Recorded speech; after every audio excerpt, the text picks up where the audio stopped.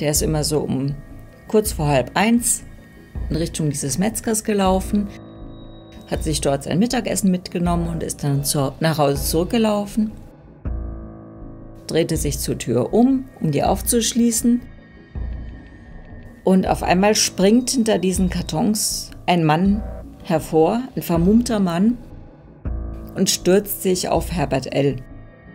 Herbert L. liegt am Boden, der Angreifer über ihm, sticht auf ihn ein, Herbert L. schreit um sein Leben und dann kam ein Nachbar, der diese Schreie gehört hat.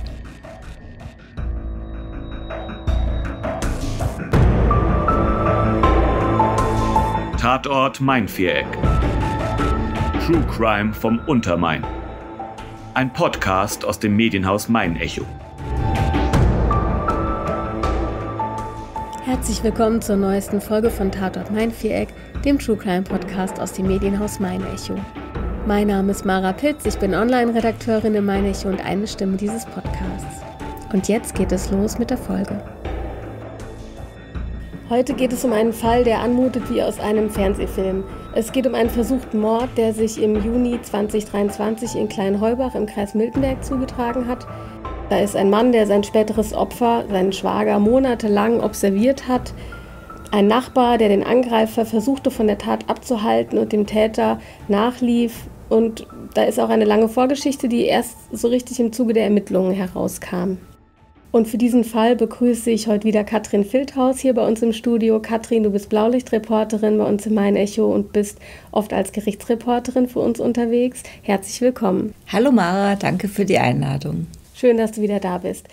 Das ist ein ganz außergewöhnlicher Fall, über den wir heute reden. Und du hast ihn folgendermaßen beschrieben. Wenn das ein Fernsehkrimi wäre, dann würden die Zuschauer vermutlich sagen, da haben die Autoren aber ganz schön viel reingepackt. Bevor wir dann auf die Tat und ähm, diese ganzen Hintergründe eingehen, würde ich aber vorschlagen, dass wir damit anfangen, wie wir von der Tat erfahren haben. Also ich konkret kann mich erinnern, das war der 15. Juni vergangenen Jahres und da war ich im Dienst in der Online-Redaktion und da kam halt erstmal die Meldung rein bei uns oder vielmehr bei den Kollegen aus dem Blaulicht-Team, dass eben eine Messerattacke in Kleinheubach passiert ist und wenig später kam dann die Nachricht, dass es auch einen Großbrand in einer Lagerhalle in Kleinheubach gab und dann sickerte so nach und nach durch, dass das eben was miteinander zu tun hat. Und da war die Verunsicherung natürlich sehr groß und wir haben dann halt fortlaufend berichtet. Aber jetzt mal an dich die Frage, wie hast du denn davon erfahren? Ich habe tatsächlich aus der Ferne nur so ganz äh, entfernt was wahrgenommen. Ich war nämlich bei Aktenzeichen XY genau in dieser Zeit und ich hatte da so eine Art Praktikum gemacht. Und der Donnerstag war tatsächlich der Tag, wo es so ein bisschen um die Aufarbeitung der Sendung ging. Und äh, ich weiß, ich saß im Bus von äh, dem Ort, wo wir drüber gesprochen haben, zurück zu meiner Unterkunft und habe dann irgendwie nur mitgelesen. Also ich habe so eine Push-Nachricht bekommen äh, und dann habe ich äh, bei uns im Kanal mitgelesen, was da passiert und habe nur gedacht, ja toll, jetzt bin ich hier. Und äh, da rotieren die Kollegen gerade und rätseln, was ist. Aber äh, das haben sie super ohne mich hingekriegt, habe ich dann festgestellt. Nichtsdestotrotz war es dann auch spannend zu wissen, jetzt geht der Prozess los und den habe ich dann wahrgenommen. Ja, wie gesagt, es hat sich dann relativ schnell ja rausgestellt, dass die Attacke und der Brand eben in direkter Verbindung stehen und dann eben auch, was genau dahinter steckt. Lass uns doch mal mit den Protagonisten anfangen. Du hattest dich in einem Text, den du über den Prozess und den Fall geschrieben hast, auch dafür entschieden, mit Alias-Namen zu arbeiten. Genau, einfach um das Leseverständnis so ein bisschen besser hinzukriegen. Normalerweise verwende ich ja keine Alias-Namen, sondern arbeite eigentlich mit Angeklagter bzw. dem Alter und dann der Betroffene oder die Betroffene. Und in dem Fall war das aber so komplex und so viel, dass ich gesagt habe, okay, ähm, wenn man da durchsteigen soll, ich habe da so eine Doppelseite drüber gemacht, also es war auch sehr umfangreich, dann muss man mit Namen arbeiten. Und dann habe ich den Namen gegeben, ich habe den Angeklagten Kurt W. genannt und den äh, Angegriffenen, den Schwager des Angeklagten, habe ich Herbert L. genannt. Ja, und so wollen wir es jetzt auch im Podcast halten, der Einfachheit halber und dem besseren Verständnis willen. Okay, dann lass uns doch mit den beiden Männern starten und wie die beiden zusammenhängen. Genau, also Herbert L. hat eine Schwester und die ist mit Kurt W. verheiratet. Also ist Kurt W. der Schwager von Herbert L. Die haben sich so wie Herbert Eldes geschildert hat, ganz gut verstanden lange Zeit und dann sind 2017 hintereinander erst der Vater und dann die Mutter gestorben und da ging dann der Streit ums Erbe los. Eigentlich eine Sache zwischen Herbert L. und seiner Schwester, aber Kurt W. muss sich da relativ schnell auch viel eingemischt haben. Der hatte Sorge, dass seine Schwester zu kurz kommt, hatte, wie sich herausgestellt hat im, im Prozess, sowieso finanzielle Probleme, große finanzielle Probleme und hatte halt auf dieses Erbe gehofft. Das ging dann so weit, dass es äh, vom Notar oder von Anwälten ausgefochten wurde. Und nachdem dann diese Einigung da war, wer welchen Anteil bekommt, Herbert L. hat das Haus behalten, das Haus in Kleinheubach. Die Schwester und ihr Mann hatten sowieso im Main-Tauber-Kreis ein Haus. Also es ging gar nicht ums Haus, sondern um den Wert des Hauses und das Geld was eventuell einen Verkauf gebracht hätte oder was Herbert L. dafür hätte zahlen sollen, dass er in dem Haus bleibt, als Abfindung in Anführungszeichen. Naja, und wie gesagt, das Ganze ging bis zum Anwalt. Der Notar hat einen Einigungsvertrag gemacht. Das Geld wurde überwiesen und dann brach der Kontakt ab zwischen Herbert L. und seiner Schwester und natürlich auch Kurt W. Er hatte also eigentlich seit sechs Jahren nichts mehr mit denen zu tun gehabt. Es gab also auch keine Weihnachtsgrüße oder sonst was. Man lebte so vor sich hin. Bis äh, 2021 haben die Schwester und Kurt W. zumindest auch am Grab der Mutter oder der Eltern äh, sich betätigt, aber danach wohl nicht mehr. Das heißt, die Geschwister waren geschiedene Leute im Endeffekt. Sie wären geschiedene Leute gewesen, hat sich im Prozess herausgestellt weil Kurt W. Herbert L. trotz allem noch auf dem Kieker hatte, sage ich mal. Wie sich das dann weiterentwickelt hat, glaube ich, arbeiten wir jetzt einfach so Schritt für Schritt auf. Vielleicht aber müssen wir auch noch mal über Kurt W. reden, was es so für ein Typ ist. Du hast eben angedeutet, er hatte finanzielle Probleme. Was kam denn so im Prozess über ihn heraus? Das Problem im Prozess war, dass er erstmal gar nicht aussagen wollte. Also er wollte sich nicht zur Tat äußern, zu den Hintergründen. Er hat sich von einer sachverständigen Gutachterin untersuchen lassen, nennt man Exploration, diese Untersuchung. Aber auch da hat er ähm, zwar viel über sich erzählt und über seine Vergangenheit und da auch sehr umfassend, aber halt nichts zur Tat gesagt oder zum, äh, was zu der Tat geführt hat. Ähm, die Gutachterin hat dann gesagt, der ist auch, äh, das sind keine, keine Störungen, also der hat keine Persönlichkeitsstörung, der hat keine Erkrankung. Sie hat gesagt, er hat so was Zwanghaftes und das ließ sich im Prozess auch ganz gut beobachten. Der saß tatsächlich so vom ersten Prozesstag an da und hat immer mitgeschrieben. Also alles, was gesprochen wurde, hat er mit stenografiert, muss man direkt sagen. Und ich habe dann immer nur gedacht, was schreibt denn der da alles? Und will der am Ende ein Buch schreiben? Also ich habe so ein bisschen auch äh, mir so meine Gedanken gemacht. Der war sehr von sich überzeugt, muss man sagen. Also als er dann später mal was gesagt hat über sich und seinen Werdegang, da wurde deutlich, das ist ein echt cleverer Mensch das hat die Gutachterin auch gesagt, äh, der eine Ausbildung gemacht hat, dann ein Abendstudium, sehr ehrgeizig, ähm, in einem Unternehmen äh, in einer Führungsposition gearbeitet hat, dann dieses Unternehmen verlassen hat, gemeinsam mit einem anderen äh, Geschäftsmann eine Firma aufgebaut hat, auch sehr erfolgreich wohl zuerst. Und äh, dann ließ das aber nach. Also er war sehr akribisch, ein sehr akribischer Buchhalter, hat der Geschäftspartner ihn beschrieben. Ähm, aber trotz allem hatte er finanzielle Nöte, die er dann auch so gestopft hat. Also der Sachbearbeiter der Kripo hat erzählt, dass eine Mitarbeiterin so ein bisschen die Buchhaltung von ihm nachvollzogen hat und gesehen hat, dann wurde da Geld abgehoben äh, das dann auf das andere Konto kam, um es dann wieder dahin zurückzuzahlen. Also er hat Geld so durch die Gegend verschoben, äh, um finanzielle Lücken zu stopfen einfach.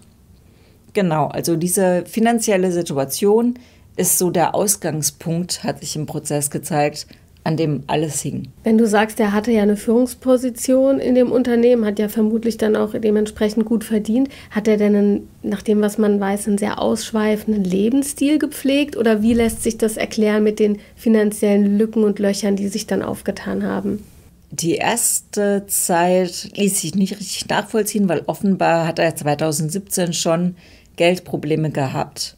Später kam dann tatsächlich Corona das ganz viel ausgemacht hat. Der äh, hatte einen äh, Corona-Hilfen bekommen, weil er ähm, selbstständig war in seiner Firma, hatte auch ein Anrecht auf diese Hilfen und da gab es dann wohl schon Probleme. Der hat in einem Bereich gearbeitet, wo es viel auf persönliche Kontakte ankommt und dazu kamen noch gesundheitliche Probleme, die er hatte. Er hat eine Lungenkrankheit gehabt und auch das hat wohl zu Einschränkungen geführt. Also es konnte nicht gesagt werden, der lebt total über seine Verhältnisse. Das ist nicht deutlich geworden. Es hätte er wohl auch von sich aus nie so gesagt. Und seine Frau äh, musste nichts sagen und hat auch nichts gesagt. Die hat ein Zeugnisverweigerungsrecht als Ehefrau. Das heißt, die konnte man auch nicht befragen zu den Zuständen. Und damit war das dann einfach als gegeben hingenommen worden, dass es finanzielle Probleme gab. Und die tauchten ja auch auf wenn man seine Konten angeschaut hat. Okay, jetzt haben wir ein bisschen über ihn gesprochen, was er so für ein Typ war und wie die Vorgeschichte zwischen Kurt W. und Herbert L. war. Lass uns jetzt mal übergehen zu dem, was dann tatsächlich am 15. Juni passiert ist. Was hat sich denn genau zugetragen an dem Tag? Ich kann es vielleicht mal aus der Sicht von Herbert L. schildern. Der ist an diesem Tag gegen 12.20 Uhr in Richtung des äh, örtlichen Metzgers gelaufen, weil er sich dort immer Mittagessen geholt hat. Also der hat einen ganz festen Rhythmus gehabt. Der ist immer so um kurz vor halb eins in Richtung dieses Metzgers gelaufen, hat sich dort sein Mittagessen mitgenommen und ist dann zu, nach Hause zurückgelaufen. Er kam mit seinem Essen in der Hand zurück, äh, erzählte im Gericht, als er aussagte noch, er hätte dann noch mal in den Garten geschaut, sich angeschaut, wie das alles so schön blüht drehte sich zur Tür um, um die aufzuschließen. Und neben der Tür ist eine Pergola und da standen hohe Kartons, weil Herbert L. nämlich eine Heizung, einen Heizungsumbau plante.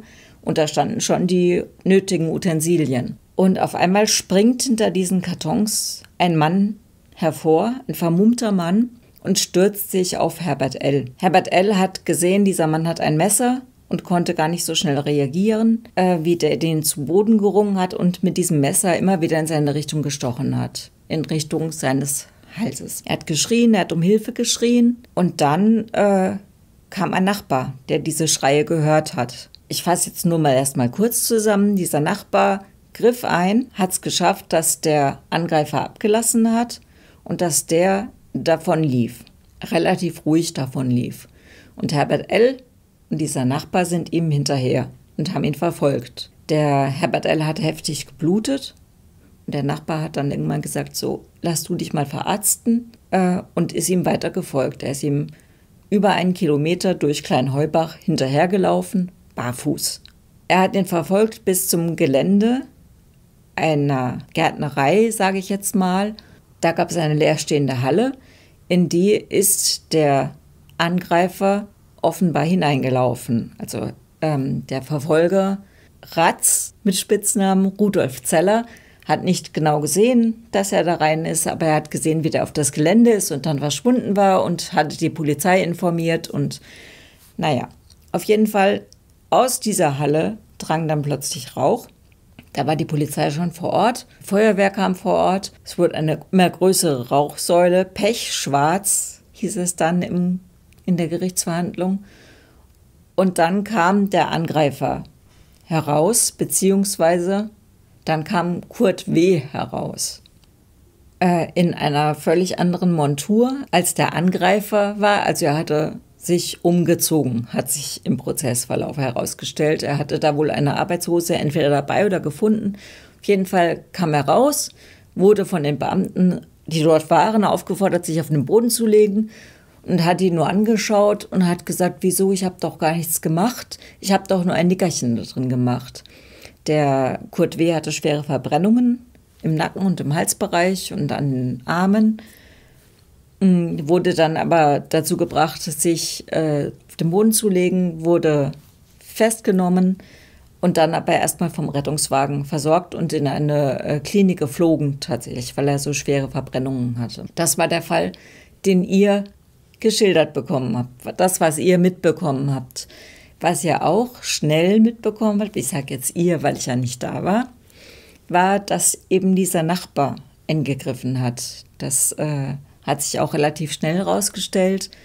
Der hat uns damals dann auch erzählt, oder dem Kollegen Kevin Zahn erzählt, wie er diesen Angriff erlebt und vereitelt hat. Das hat sich ebenso fast beiläufig angehört. Er hat den Angreifer abgehalten von der Tat. Wie hat er das denn genau gemacht? Das Schöne ist, in Anführungszeichen, dass wir das uns genau angucken konnten, wie er es gemacht hat, weil Herbert L. nämlich äh, eine Videokamera hatte. Und dieser ganze Angriff und das Eingreifen des Nachbarn ist aufgezeichnet. Deswegen konnte ich auch so blumig erzählen, wie er sich umschaut und die Haustür aufschließt, weil wir das im Gerichtssaal tatsächlich alle gesehen haben. Herbert L. liegt am Boden, der Angreifer über ihm, sticht auf ihn ein. Herbert L. schreit um sein Leben und dann sieht man auf einmal, wie äh, Rudolf Zeller im Bild erscheint. Hey, was ist denn da los? Also das ist so ein ganz kerniger Typ auch ich habe mich mit dem äh, im Nachhinein dann unterhalten, also und habe ihn im Gerichtssaal ja auch erlebt. Der ist äh, 65 Jahre alt und äh, total, ja, agil und ist ein richtiger, ist ein richtiger Typ. Also ich war ganz begeistert von seinem Auftreten. Auf jeden Fall hat er einen Blumenkübel genommen, der da rumstand und hat den erstmal auf den Angreifer geschmissen. Als der nicht reagiert hat, flogen zwei weitere Blumenkübel und in der Zeit hat es dann Herbert L. geschafft, sich außer Reichweite zu bringen. Also Rudolf Zeller hat sich durchaus auch in Gefahr begeben.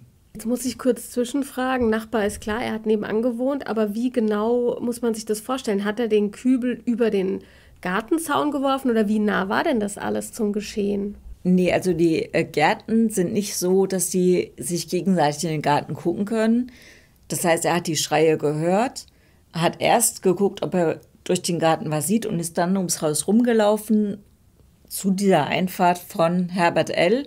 und kam dann in die Einfahrt rein, sieht das Gerangel vor der Haustür. Also die Haustür ist nicht direkt an der Straße, sondern so zurückversetzt. Wie gesagt, ein Einfahrtsbereich und erst dann kommt man dahin, also auch sichtgeschützt von außen. Und da hat er dieses Gerangel gesehen und dieser Blumenkübel stand tatsächlich bei Herbert L da in diesem Pergola-Eingangsbereich. Und den hat er gegriffen, also wirklich auch schnell reagiert, dass man so das Erste nimmt, was da steht und einfach draufschmeißt. Und wie gesagt, und dann hat er erstmal gewartet. Der Angreifer hat sich auch so in seine Richtung gedreht mit dem Messer, aber hat dann doch weitergemacht. Und wie gesagt, dann flogen zwei weitere Mülltonnen oder was auch immer er da in dem Garten dann gefunden hat, flogen dann auch wieder auf den Angreifer, solange bis Herbert L. sich dann, wie gesagt, in Sicherheit bringen konnte. Der Herbert L. ist dann so zum Rudolf Zeller geflohen und hat sich so hinter ihm so ein bisschen in Sicherheit gebracht. Herbert L. hat auch geschildert, dass er erst gar nicht mitgekriegt hat, dass äh, Hilfe da ist. Er hat gesagt, er hat auf einmal so einen Rums gehört. Das wird die erste Tonne gewesen sein oder der Plastikkübel gewesen sein und hab, habe sich dann in Sicherheit gebracht und dann erst gesehen, dass der Nachbar ihm da zur Hilfe geeilt ist. Also ein sehr dynamisches Geschehen, das dann auch dynamisch weiterging. Rudolf Zeller war ja im Garten gewesen, äh, hatte also nichts dabei. Der hat ein schwarzes T-Shirt angehabt und dann so eine kurze schwarze, wie so eine Badehose, sag ich mal, und Badelatschen und kein Handy dabei, wie das so ist, wenn man im Garten ist. Und äh, dann habe ich ja schon gesagt, dann ging die Verfolgung los durch Kleinheubach. Und Rudolf Zeller ist tatsächlich dann barfuß hinterher. Die Badelatschen musste er irgendwo unterwegs abgelegt haben oder schon als es losging, weil damit läuft man natürlich weniger gut. Und er verfolgte dann den Angreifer, wie wir später dann identifiziert haben, Kurt W., durch Kleinheubach. Der lief die Straße entlang in Richtung seines Autos, das er da abgestellt hatte, aber wollte offenbar dann nicht in das Auto einsteigen, weil ihn das ja ganz klar identifiziert hätte. Ging an dem Auto vorbei, sah sich um lief vorbei an einem Kinderspielplatz, auf dem zwei Schulklassen waren und der Rudolf Zeller hat dann auch nur so rübergerufen, passt auf, bringt ein bisschen die Kinder in Sicherheit. Also auch das beschreibt dann so die Aufregung, die da an dem Tag in dem Ort herrschte. Und äh, warnte auch irgendwie Nachbarn oder rief Leuten, die er unterwegs sah, zu, sie sollen bitte die Polizei anrufen, weil er konnte ja nicht, er hatte ja kein Handy dabei. Dann drehte Kurt W. ab, lief ihm sozusagen entgegen er hatte ein Brecheisen in der Hand, also war nicht unbewaffnet, sondern schon durchaus auch eine Gefahr nach diesem Angriff. Kurt W. drehte ab und lief äh, Richtung Friedhof Kleinheubach. Und auf dem Friedhof hat er dann schon mal versucht, sich zu verstecken. Das ist ihm aber nicht gelungen. Dann lief er über den Friedhof in Richtung dieses, äh, dieser Gärtnerei. Und wie gesagt, da hat Rudolf Zeller ihn dann aus den Augen verloren. Aber dann ging es ja weiter wie beschrieben. Bevor wir jetzt weiterreden über die Ermittlungen und wie es dann ne, vor Gericht auch weiterging, würde ich gerne noch mal einmal darauf eingehen, wie schwer verletzt ähm, der Angegriffene war, weil du hattest eben beschrieben, er ist ja zunächst noch sogar mit und hat die Verfolgung mit aufgenommen und dann hat der Nachbar aber gesagt, geh du lieber mal zurück und lass dich versorgen. Wie stand es denn um ihn? Also er hat sehr viel Blut verloren, er hatte mehrere Stiche im Halsbereich und der Blutverlust war aber durch eine Verletzung am Arm. Also die Stiche im Halsbereich hatten dann wohl relativ schnell aufgehört zu bluten, aber am Arm hatte er eine stark blutende Wunde gehabt. Da hatte er versucht, das Messer abzuwehren. Und wenn man so in so ein Messer reingreift, was mit voller Wucht auf einen zukommt, dann gibt es entsprechende Schnittverletzungen. Und das war die, die sehr stark geblutet hat. Es war so, ähm, dass natürlich Stiche in den Hals, das ist hochsensibel, die sind potenziell lebensbedrohlich. War zum Glück nicht so. Er hat Folgen davongetragen, er hat ein, eine Stimmbandverletzung davongetragen. Das heißt, er muss sich oft räuspern und die Stimme bricht ihm so ein bisschen weg. Das hat man im Gericht auch hören können. Aber ähm, es ist natürlich auch viel Adrenalin im Spiel, wenn so eine Sache passiert. Und deswegen hat er auch sein eigenes Bluten gar nicht so wahrgenommen erstmal. Die Ermittler haben dann dort diese Halle untersucht und da ging es ja im Prinzip dann schon direkt weiter mit dem Krimi-Geschehen. Genau, also diese Halle, das war mal der erste Punkt, die ist komplett abgebrannt und durfte auch nicht betreten werden. Also man muss sich vorstellen, das war ein Stahlgerüst, das das Dach hielt und das ist durch die große Hitze von dem Feuer äh, weggebrochen und die ganze Halle war einsturzgefährdet und da dürfen auch Ermittler da nicht rein. Also die Feuerwehr hat schon von außen löschen müssen, weil es einfach zu gefährlich war, da reinzugehen. Und äh, auch die Polizei darf dann nicht so eine Halle betreten, wenn dieses Risiko besteht. Das heißt, die haben sich erstmal von oben über die Drehleiter so einen Überblick verschafft, äh, wie das von oben aussieht, haben da schon rausgekriegt, okay, wo müsste der Brandherd sein? Das sieht man, weil das Feuer da am heißesten ist. Da, wo die stärksten Beschädigungen sind, ist es sehr wahrscheinlich, dass das Feuer ausgebrochen ist. Und dann wurde die, das Hallendach erstmal abgetragen, um diese Gefahr zu minimieren. Und dann sind die zu diesem Brandherd, den sie als Brandherd ausgemacht haben, rein. Da lag ein riesiger äh, Klumpen. Ich habe dir schon gesagt, es war eine Gärtnerei. Und du kennst aus dem Bauhaus diese Trage. Dinger, wo man Blumentöpfe reinstellt. Also wenn du irgendwie zehn Blumentöpfe hast, dann kannst du die in so ein Tablett stellen, sage ich mal, so ein ausgehobenes.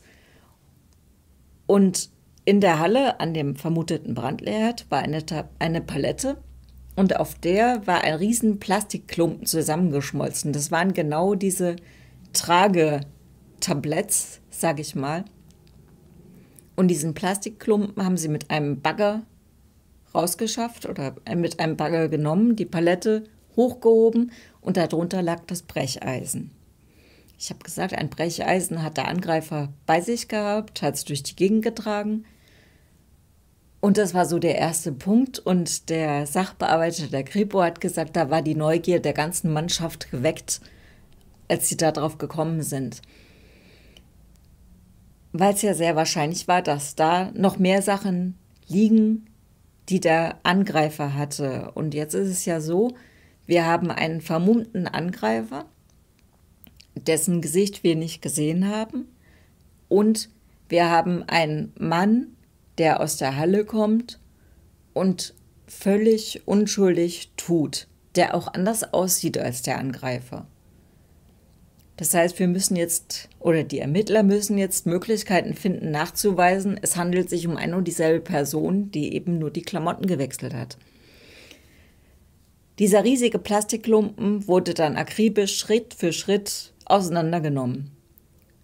Man muss sich vorstellen, es war sehr heiß damals. Ich weiß nicht, ob du dich an den Sommer erinnerst. Der war anders als der dieses Jahr. Äh, 35 Grad Außentemperatur. Und die ähm, Spurensicherer und die Ermittler äh, mussten Schutzanzüge tragen und Atemschutz. Die waren ja in dieser Halle, wo es vorher gebrannt hatte. Das ist natürlich auch ein Risiko. Und haben in diesen Anzügen bei 35 Grad Außentemperatur angefangen, so einen Plastikklumpen mit dem Presslufthammer auseinanderzunehmen. Und es hat sich aber gelohnt, die Mühe. Die haben weitere Sachen gefunden, die bei der Tat eine Rolle gespielt haben. Unter anderem haben sie Reste des Geldbeutels von Herbert L. gefunden. Der Geldbeutel war bei diesem Angriff gestohlen worden und jetzt liegt der zusammen mit einem Brecheisen, was da verwendet wurde, in der Halle. Das heißt, so langsam aber sicher fügte sich das zusammen, dass eben der Mann, der aus der Halle kam, der Angreifer gewesen sein muss, auch wenn er sagt, er hat da nur geschlafen, fügte sich das jetzt zusammen. Genau, das war so der erste große Erfolg der Ermittler, dass sie halt die ersten Beweise gefunden haben tatsächlich. Und dann äh, sind sie weitergegangen. Es wurde auch der Autoschlüssel von Kurt W. gefunden. Und dann hat man halt mal geschaut, zu welchem Auto gehört er denn wohl. Und dann wurde dieses Auto auseinandergenommen. Ja, und was die Ermittler da in dem Auto gefunden haben, das liest sich ja auch irgendwie wie aus einem Krimi. Also klingt fast wie ausgedacht. Ich habe ähm, ja geschrieben, es klingt wie in einem Krimi und manches klingt wie weit hergeholt. Also wenn ich das im Tatort sehen würde und so viele Aspekte, dann würde ich sagen, die spinnen doch. Jetzt ist es total mit ihnen durchgegangen, dass sie da so viel reinpacken wollten. Und äh, zwei Aspekte hätten es auch getan. Ähm, der Kripo-Beamte hat das Auto als eine wahre Wundertüte bezeichnet. Und das nicht ganz ohne Grund. Zum einen hat man gesehen, dass in dem Auto wirklich gelebt wurde. Also da waren Wechselkleider, also Anzüge, auch richtig schicke Anzüge. Da waren, war eine Kühltruhe, Brotboxen, Pizzakartons, Zewa, Waschzeug. Also es war irre. Wir haben Fotos gesehen von diesem Auto, das vollgepackt war und man konnte sich vorstellen, da hat einer drin gewohnt. Und es war eine Aktentasche darin. Und in dieser Aktentasche wurden äh, Schreiben gefunden. Ich sage Erpresserschreiben, die, und das muss ich ausdrücklich betonen, nie irgendwie abgeschickt wurden. Das hat sich herausgestellt. Aber in diesen Erpresserschreiben hat eine russische Motorradgang, die es tatsächlich gibt, die Nachtwölfe, von Adressaten aus dem Bereich äh, Bad Homburg, von Wirtschaftsgrößen aus dem Bereich Bad Homburg, Geld gefordert. Wir haben ja jetzt schon über das Erpresserschreiben gesprochen, das bei dem Angeklagten gefunden wurde. Und aus dem Gerichtsverfahren hat Katrin ein kleines Gedächtnisprotokoll erstellt. Und wir haben dann ähm, unseren Sprecher Julian Goletzka gebeten, das mal für uns einzulesen. Und da hören wir jetzt mal rein. Die Nachtwölfe sind die härteste und mächtigste Biker-Gang der Welt. Schwer bewaffnet, nationalistisch und regierungstreu arbeiten wir seit Jahrzehnten für unseren Freund Wladimir Wladimirowitsch Putin. National wie international, ob Krim-Annexion, Donbass oder Syrienkrieg, er konnte sich immer auf uns verlassen. Nun unterstützen wir ihn aktiv in der Ukraine und gegen die westlichen Aggressoren. Wir finanzieren uns selbst und sanktionieren daher weltweit Familien der US-Unterstützer und sogenannten Freunde der Ukraine. Unser German Chapter hat eine Liste von Familien bekommen, die aufgrund ihrer amerikanischen Verbundenheit jetzt zahlen müssen. Familie Gordon und Benita Risk mit Aaron Duckett und Claire und Amelia. Dazu gehören auch Ern Risk, Marvin und Sonja Risk mit Taylor, Kristen und Skylar. Adrian und Hannah Klinner mit Silas und Isabel. Monika und Rainer Klinner mit Stephanie. Tim Aschmann mit Pauline, Bent und Tjag. In Abstimmung mit unserem US-Chapter haben wir die Durchführung übernommen und als führende Familienmitglieder Benita und Gordon ausgewählt. Sollte es nicht funktionieren, wird die ganze Familie von uns bestraft und gegebenenfalls nach und nach alle Personen liquidiert. Zu zahlen sind 5 Millionen Euro, davon 1,5 Millionen Euro sofort, zahlbar in 50, 100 und 200 Euro Geldscheinen. Spätestens in zwei Tagen haben wir eine SMS, dass die 1,5 Millionen Euro bereit liegen und ihr beiden jederzeit mit einem Pkw startklar seid. Solltet ihr euch nicht an unsere Bedingungen halten, mit irgendjemandem darüber sprechen, das Geld präparieren, die Übergabe an unseren Kurier, der nicht weiß, was er abholt, durch andere Personen und Behörden überwachen, uns verfolgen oder sonst wie stören, auch nach der Geldübergabe, machen wir kurzen Prozess und holen uns nach und nach alle aus der Familie und am Ende auch euer ganzes Eigentum. Über die Zahlung der restlichen 3,5 Millionen Euro werden wir uns wieder melden, nachdem wir die 1,5 Millionen Euro geprüft haben. Jetzt äh, stellt sich die Frage, was hat ein Buchhalter, ein akribisch arbeitender Mann mit einer russischen Motorradgang zu tun? Die Frage haben sich die Ermittler natürlich auch gestellt. In seinem Haus, das sie dann durchsucht haben, haben sie ähm, akribische Aufzeichnungen gefunden von eben äh, wohlhabenden Menschen. Offenbar hat er ähm, Häuser ausspioniert von Menschen, die viel Geld hatten. Er hat sich dann so Notizen gemacht, 911 Porsche, blonde Frau steigt aus und sie haben äh, in dem Haus Todesanzeigen gefunden, wo die Adressen von Familienangehörigen ja verzeichnet sind, also so Kondolenzadressen. Das heißt, über Todesanzeigen lässt sich möglicherweise ein Rückzug schließen, wo genau die Menschen wohnen. Und das hat er benutzt. Er hatte ähm, Interviews von Wirtschaftsgrößen, auch aus dem Main Echo ein Interview mit einem Menschen, der später auch, wie sich herausstellte, genauso ein Schreiben hätte kriegen sollen. Also an den war auch so ein Schreiben gerichtet. Hat er nie bekommen. Sage ich schlecht dazu. Genau, also irgendwie hatte er noch so ein zweites Hobby, sage ich mal. Also er hat Leute mit viel Geld beobachtet und hat wohl überlegt, dass man die erpressen könnte. Das heißt, über dieses Geschehen, über dieses akute Geschehen, über diesen Angriff kommen die Ermittler dann auf die Spur, was dieser Mann, also was Kurt W., über lange Zeit vorher gemacht hat, was er getrieben hat, dass er quasi auch in seinem Auto ja wie so ein ja, wie ein Privatdetektiv offenbar Leute beschattet hat und beobachtet hat. Und wie sich dann auch herausgestellt hat, hatte er ja auch seinen Schwager beschattet.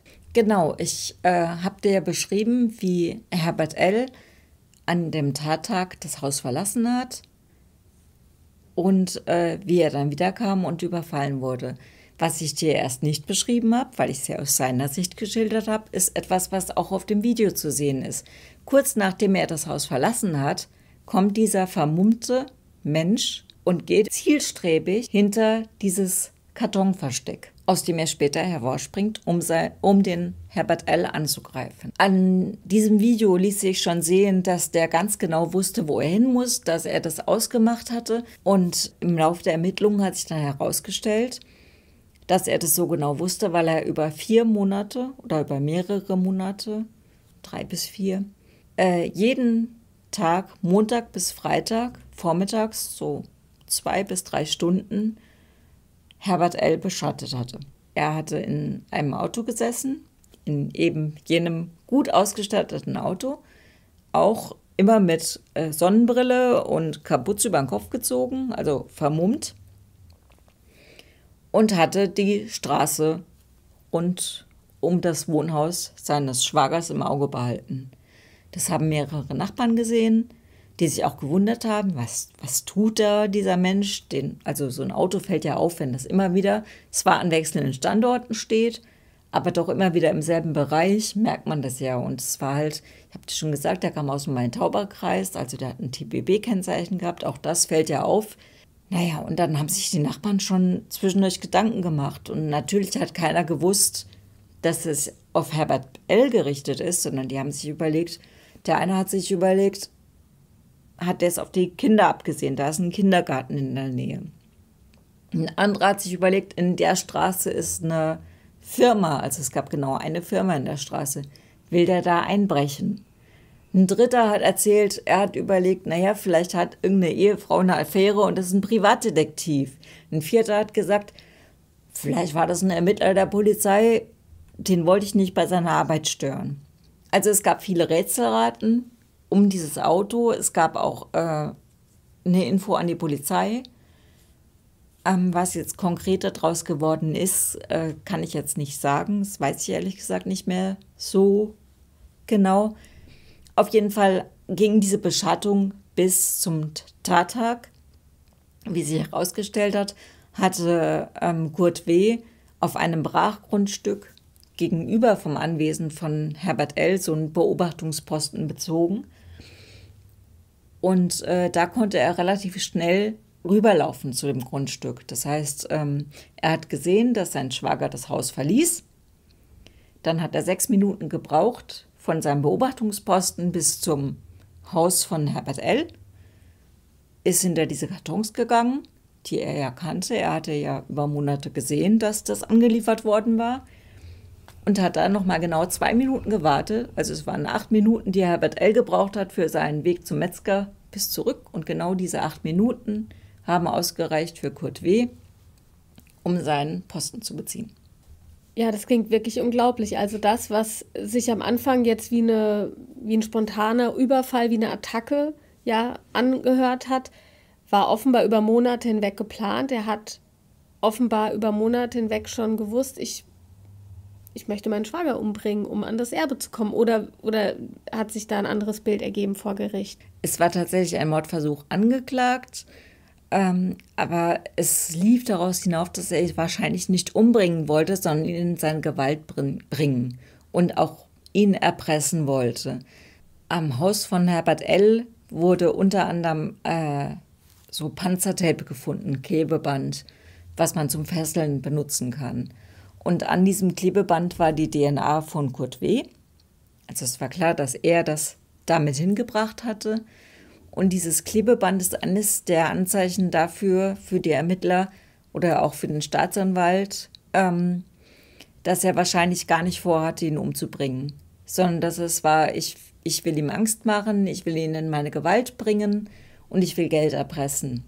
Die Frage ist natürlich auch, hätte er wissen können, dass seine Schwester erben würde, wenn ihr Bruder ums Leben kommt. Also die hatten ja lange keinen Kontakt mehr was Herbert L. mit seinem Erbe gemacht hätte, ob der einen, einen letzten Willen hatte, wem sein Geld zukommen soll, konnte der ja nicht wissen. Also auf eine Erbschaft aus sein wäre halt schwierig gewesen, aber auf jeden Fall hatte er wohl versucht, irgendwie an Geld zu kommen, indem er ihn in seine Gewalt bringt. Das Ganze war also im Prinzip eine versuchte Entführung auch.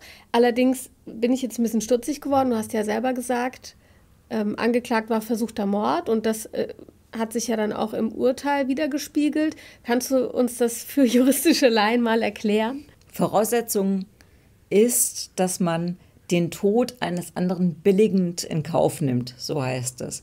Das heißt, als er mit dem Messer zugestochen hat, als er in Richtung Hals zugestochen hat, musste er davon ausgehen, dass sein Schwager dabei ums Leben kommen kann. Das ist mal der erste Schritt. Und dann gibt es für Mord sogenannte Mordmerkmale. Das heißt, wenn ich diesen Todbilligenden in Kauf nehme und dann noch gewisse Kriterien erfülle, und dazu gehört zum Beispiel Heimtücke, was wir da ganz eindeutig hatten. Er hat ihm aufgelauert, der Herbert L. war völlig nichtsahnend, war völlig wehrlos, schutzlos.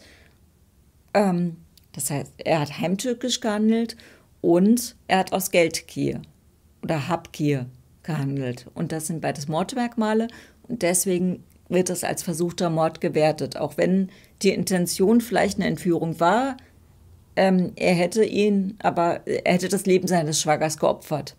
Und das ist der wichtige Punkt.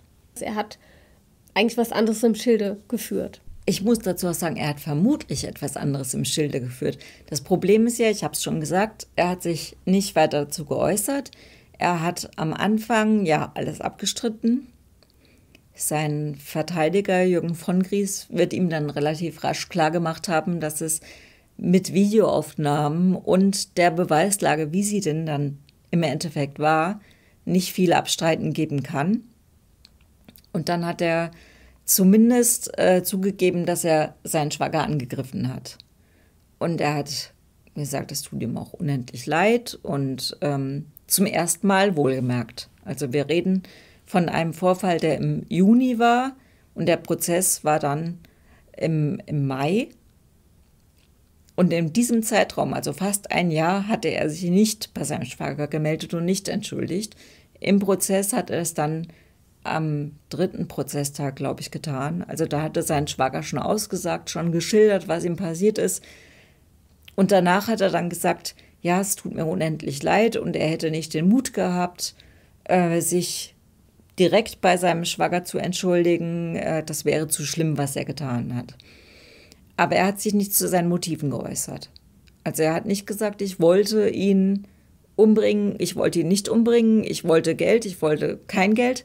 Dazu hat er nichts gesagt und er hat auch bis kurz vorher nicht zugegeben, dass er diese Halle angezündet hat. Da hat er dann gesagt, er hätte Gedächtnislücken und er wüsste das alles nicht mehr, was da passiert ist. Und äh, auch zu diesen Beschattungen, die hat er auch nicht zugegeben. Da hat er auch gesagt, er wüsste nichts mehr davon.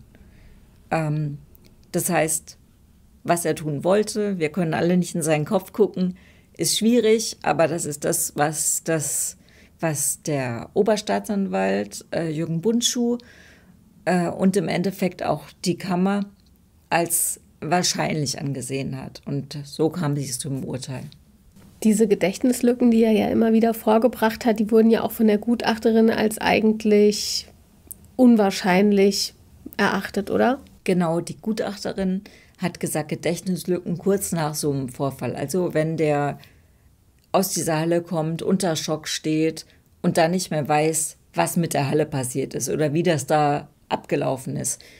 Da hat sie gesagt, das kann passieren, aber nicht, dass jemand eine Tat zugibt, beziehungsweise dass jemand über Monate lang einen anderen Menschen beschattet und das war ja völlig unstrittig, dass das passiert war ähm, und dass er sich daran nicht erinnern kann. Also das hat sie gesagt, dafür gibt es keine Erklärung zumal sie ähm, sich ja mit dem ähm, mit Kurt W. unterhalten hat und gemerkt hat, dass der ein hervorragendes Gedächtnis hatte. Also der konnte hier aus dem Stegreif Familiengeschichte alles Mögliche erzählen und hat, habe ich nicht geschrieben, aber fand ich irgendwie äh, sehr bemerkenswert, als es um die Brandstiftung ging, äh, hat er zu der Gutachterin gesagt, naja, also der Brandstifter, das hätte er gar nicht sein können, weil er wäre lange Jahre in der Feuerwehr gewesen. Er wüsste genau, wie man einen Brand anfacht, ein Osterfeuer anfacht, ohne sich dabei selbst zu verbrennen. Und das war für ihn so das Ausschlusskriterium, dass er diesen Brand gelegt hat. Also es war irre, das so zu hören. Ja, lass uns noch mal auf das zu sprechen kommen, was schon Jahre vorher passiert ist. Ich hatte es am Anfang ja auch angedeutet. Das ähm, ist ja nicht das erste Mal auch gewesen, dass Kurt W. auf seinen Schwager zugekommen war. Das hat sich aber erst im Prozess oder bei den Ermittlungen so richtig rausgestellt. Genau, das hat sich erst da so richtig rausgestellt, ließ sich aber nicht beweisen. Also deswegen war das auch nicht Teil der Anklage, aber äh, spielte natürlich trotzdem eine Rolle im Prozess. Ich musste es so sauber trennen, damit man wirklich sieht, das sind jetzt Sachen, die sehr wahrscheinlich sind, die nicht abgeurteilt sind, damit es da keine Verwirrungen gibt. Äh, ich habe schon gesagt, ähm, seit 2017 gab es keinen Kontakt mehr zwischen den Geschwistern und auch nicht zwischen Herbert L. und Kurt W. Und man lebte so sein Leben. Herbert L. hat geschildert, dass er im Dezember 2018 in seinem Wohnzimmer saß ferngesehen hat und plötzlich hätte ein maskierter Mann bei ihm im Wohnzimmer gestanden. Ein maskierter Mann mit einer Pistole bewaffnet, äh, der ihn zu Boden gerungen hätte, ihm äh, den Wohnzimmertisch umgedreht auf den Bauch gelegt hätte, sodass er auch nicht wieder aufstehen konnte. Also er hatte keine Chance, hochzukommen. Ihn, wenn er sich gewehrt hätte, getreten hätte, also ihm Gewalt angetan hätte, ihm dann seine Lesebrille gereicht hätte und ein Schreiben in die Hand gedrückt.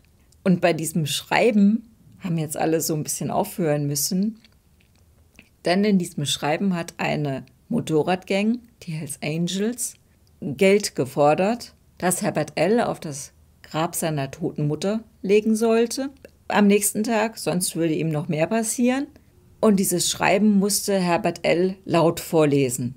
Das heißt, der Mensch kommt rein, drückt ihm das in die Hand, gibt ihm seine Lesebrille, also weiß offenbar, dass Herbert L. eine Brille braucht, um zu lesen, sagt, lies vor und verlässt danach wieder das Haus.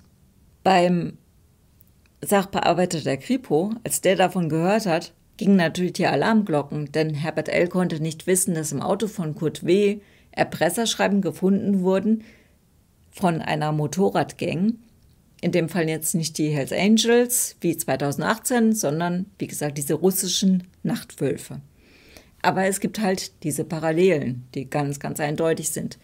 Herbert L. hat damals auch schon vermutet, dass es sein Schwager war, der ihn da überfallen hat. Denn äh, es gab keine Einbruchsspuren. Dieser Mann stand plötzlich in seinem Wohnzimmer und der muss einen Schlüssel gehabt haben. Und seine Schwester hatte bis 2017, bis diese, dieser Streit war, einen Schlüssel und den kann Kurt W. sicher ohne weiteres nachgemacht haben. Also von daher war das für ähm, Herbert L.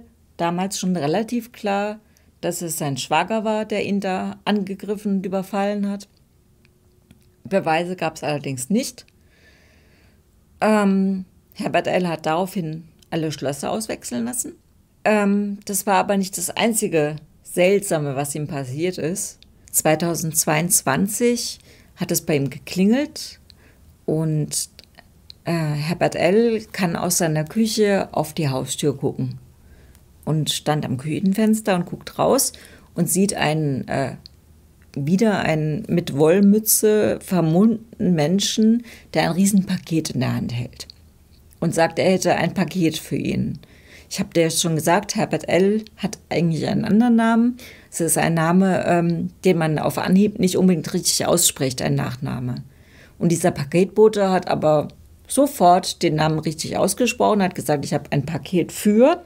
Und Herbert L. hatte nichts bestellt, schon kein Riesenpaket und hat dann nur gesagt, er soll es hinstellen. Er guckt sich das dann an. Und dann fing er an, nein, er kann das nicht hinstellen, er braucht jetzt eine Unterschrift. Und dann hat Herbert L. gesagt, ich habe nichts bestellt. Er soll wieder gehen. Und als sich dann dieser Paketbote nach längerem Zögern umgedreht hat, hat er gesehen, und er hat Wollhandschuhe getragen, dieser Paketbote, hat er gesehen, dass so ein, ein Stiel wie von einer, von einer Axt oder von irgendwie von einem, einem Holzstiel aus seinem Handschuh ragt.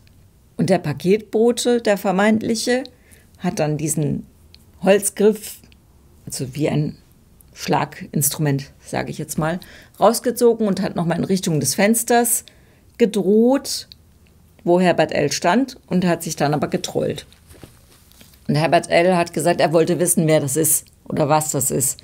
Und ist dann diesem Menschen hinterher und hat gesehen, dass der zu einem Fahrzeug läuft, das er als das seines Schwagers erkannt hat. Und er hatte vorher schon den Verdacht, dass sein Schwager das ist und hat daraufhin die Polizei gerufen. Zuständig ist aber im Main-Tauber-Kreis nicht die bayerische Polizei, eine baden-württembergische Polizei. Die sind wohl im Laufe des Nachmittags dann zu Kurt W. gefahren und haben gefragt, ob er in Kleinheubach gewesen sei. Und der hat dann nur gesagt, er war an dem Tag nicht außer Haus und damit gab es dann auch wieder keine Beweise. Aber für Herbert L. war das der Anlass, und jetzt schließt sich so ein bisschen der Kreis, Überwachungskameras zu installieren. Und eben diese Überwachungskameras haben ja dann die Tat die jetzt im Endeffekt verurteilt wurde, aufgezeichnet. Was mir die ganze Zeit so ein bisschen im Kopf rumgeht, es gibt ja noch die Frau, die Schwester. Ähm, du hast am Anfang gesagt, ähm, dass sie von ihrem Zeugnisverweigerungsrecht ja Gebrauch gemacht hat. Sie muss ja nicht aussagen. Aber trotzdem frage ich mich die ganze Zeit, was hat sie für eine Rolle gespielt? Der Sachbearbeiter der Kripo hat gesagt, es gibt keinerlei Hinweise darauf, dass sie in dieses Geschehen aktiv involviert war. So hat er es ausgedruckt. Ich habe mich mit dem Verteidiger unterhalten, der gesagt hat, er geht davon aus, dass die nichts wusste. Es ist halt ganz schwer zu sagen, wenn jemand jeden Tag aus dem Haus geht, offenbar um zu beschatten, ist halt die Frage, was hat er seiner Frau gesagt? Hat die gedacht, er hat einen Beruf, der ihn aus dem Haus bringt? Was was dachte sie. Aber auch da ist der Punkt, man kann nicht in den Kopf der Menschen reinschauen. Sie hat sich nicht geäußert. Sie hat auch, als sie diesen Tag ins Gericht kam, sie musste ja selbst erscheinen, um zu sagen, ich sage nicht aus. Also die Zeugen werden geladen, werden belehrt, werden auch belehrt, wenn sie ein Zeugnisverweigerungsrecht haben, was eine Ehefrau hat. Und dann müssen sie aber erstmal sich verhalten. Und sie hat dann gesagt, sie macht von ihrem Aussageverweigerungsrecht Gebrauch. Dann darf sie sich auch in den Zuschauerraum setzen. Und da saß sie auch und hat ihren Mann auch beobachtet, ihm zur Seite gestanden, aber sie hat ihren Bruder nicht angeschaut. Also da war keine Kommunikation. Es ist ganz schwer zu sagen, welchen Stand sie hatte. Sie hat sich nicht in die Karten schauen lassen und laut Herbert L. hat sie sich auch nie erkundigt, wie es ihm denn geht, weil dass sie erfahren hat, dass ihr Bruder so schwer verletzt wurde, steht ja außer Frage. Also sie wusste ja, warum ihr Mann in Untersuchungshaft sitzt. Dann lass uns auf das Urteil zu sprechen kommen. Elfeinhalb Jahre wegen versuchten Mordes und Brandstiftung. Wie hat sich das zusammengesetzt und wie hat ähm, Kurt W. darauf reagiert? Was ich in dem Prozess gelernt habe, fangen wir es so an. Auf Mord gibt es lebenslänglich. Das sind mindestens 15 Jahre, die ein Mensch in Haft geht. Und dann äh, kommt es darauf an, wie er sich in der Haft verhält, beziehungsweise ähm, ja, nach 15 Jahren kann er erstmals äh, beantragen, dass er entlassen wird aus der Haft. Und dann kommt es auf die Führung an und wie schwerwiegend das Verbrechen war. Und für Mordversuch gibt es im Gesetzestext tatsächlich kein, kein festes Strafmaß. Also theoretisch kann ein Gericht auch diese lebenslängliche Strafe verhängen. Es kann aber auch mildern. Da werden dann so die, das Verhalten beurteilt und die Folgen, wie das halt insgesamt bei Urteilen ist, wenn es so eine sogenannte Strafrahmenverschiebung gibt. In diesem Fall war es jetzt so, dass der Angeklagte zwar ja zugegeben hatte, dass er angegriffen hat und nach langem, langem Zögern auch zugegeben hat, dass er für den Hallenbrand verantwortlich ist, beziehungsweise ähm, sein Verteidiger Jürgen von Gries hat dann irgendwann gesagt, naja, ähm, wer soll es denn sonst gewesen sein? Also so als, als Geständnis. Aber er hat halt ansonsten nichts dazu beigetragen, das irgendwie aufzuklären. Es gab sehr, sehr umfangreiche Ermittlungen. Also die Polizei hat da wirklich akribisch Sachen zusammengetragen. Es gab diese Bildaufnahmen, die ja gar keine Zweifel zuließen. Aber er selbst hat sich ja nicht geäußert zu Motiv, zu irgendwelchen Sachen. Das Einzige, was er gesagt hat, war halt seinen Werdegang zu schildern. Was er eigentlich, ich sag's mal in Anführungszeichen, für ein toller Hecht war, beruflich gesehen. Äh, deswegen hat der Oberstaatsanwalt äh, 13 Jahre gefordert. Also nicht die lebenslängliche Strafe, aber zumindest 13 Jahre, was ja wirklich eine ordentliche Strafe ist. Und der Nebenklagevertreter, der Herbert L. vertreten hat, hat sich dem auch angeschlossen, hat auch nochmal gesagt, wie perfide das eigentlich war. Es kam so ein bisschen äh, im, im Gutachten und so kam raus, diese finanziellen Nöte, aber er wollte auf gar keinen Fall die Altersvorsorge seiner Frau antasten. Also er wollte quasi die, seine Frau völlig heraushalten bei diesen finanziellen Sachen und der Nebenklagevertreter hat dann nur gesagt, wie perfide ist es denn, dass man sagt, ich will meine Frau nicht belasten, aber meinen Schwager, da opfere ich im Zweifelsfall das Leben des Schwagers, um meine finanziellen Probleme zu lösen. Also der hat auch gesagt, 13 Jahre hält er für durchaus angemessen. Und die Kammer hat dann geguckt, was lässt sich zugunsten rechnen.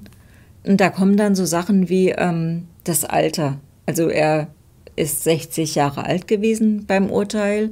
Also da spricht man von einer großen Haftempfindlichkeit. Und ich habe die Erkrankung schon erwähnt, also diese Lungenkrankheit. Und solche Sachen werden dann halt auf die Habenseite gestellt. Der Vorsitzende Richter Carsten Krebs hat ausdrücklich gesagt, Viele Pluspunkte hat er im Prozess nicht gesammelt. Er wurde auch während des Prozesses immer wieder von der Kammer darauf hingewiesen, dass er doch jetzt mal was zugeben sollte, dass er sich doch mal äußern sollte. Ähm, Hat er im Endeffekt nicht gemacht. Mit diesen elfeinhalb Jahren kann er, denke ich, dann doch zufrieden sein. Es war ja Riesenaufsehen, was er verursacht hat. Es war große Angst in der Bevölkerung, auch allein durch diesen Brand, durch diese Brandstiftung. Also es ist ja nicht nur der Angriff gewesen, es war auch diese Brandstiftung, bei der sich immerhin 89 Feuerwehrleute auch in Gefahr gebracht haben, sage ich mal.